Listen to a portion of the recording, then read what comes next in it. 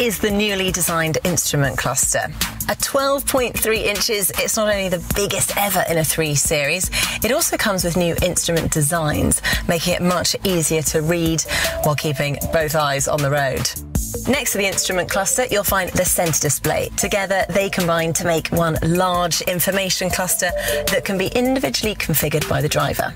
You have different pages and can just simply swipe from one to the other.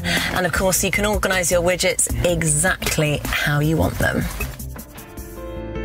Another easy to use feature has been introduced to the new 3 Series as well gesture control. Ah, sorry, I can't take that call right now.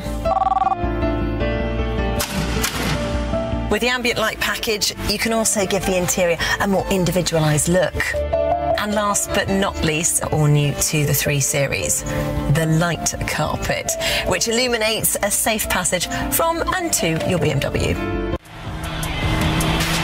When you're in the driver's seat, the first thing you notice is the newly designed instrument cluster and centre display. It also now comes with gesture control.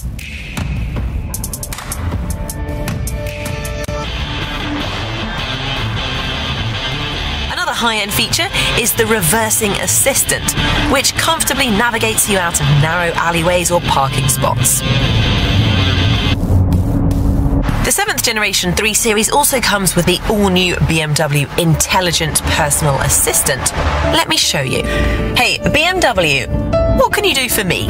I can control various functions for you.